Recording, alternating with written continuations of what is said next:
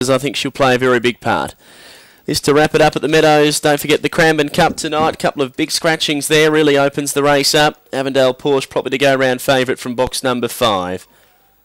That race at Cranbourne tonight. Ballarat as well racing and Bendigo in the twilight. Now they're all in. Lucky last at the midweek Meadows. The Bunny a buzz set racing and Enrique Bale got out well with Andy Armo Neo out fast and he's going to burn up and grab the lead from Enrique Bale and up to third Punkstar Lass. Through on the inside bit of all right Connor's Rocket goes around them with a run followed then by Punkstar Lass. Essie's High Above's well back and Fake Y Mac last. Down the back Andy Armo Neo out by two to Connor's Rocket. A length away then to Enrique Bale and they're well clear over Spring Pride and Essie's High Above but Andy Armo Neo up to the bend still by two to Connor's Rocket. They're clear to Enrique Bale but Andy Armo Neo bounced on the bunny and goes all the way. Andy Armo Neo, two and a quarter. Connors Rocket, two and a half. Enrica Bale, just a one batting run third. Clear over Spring Pride, SC's high above. Well back then to Fake Mac, Punkstar Lass, and bit of all right.